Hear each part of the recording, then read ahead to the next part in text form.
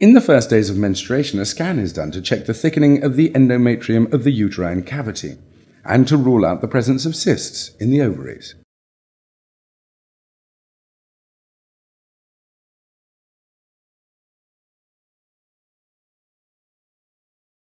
If everything is normal, the GnRH analog agonist is administered.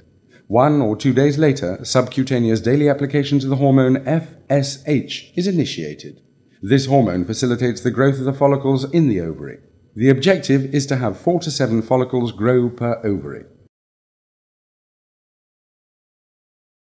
At the end of approximately four to six days of stimulation, another scan is performed to check the number and size of the follicles as well as the endometrial thickness.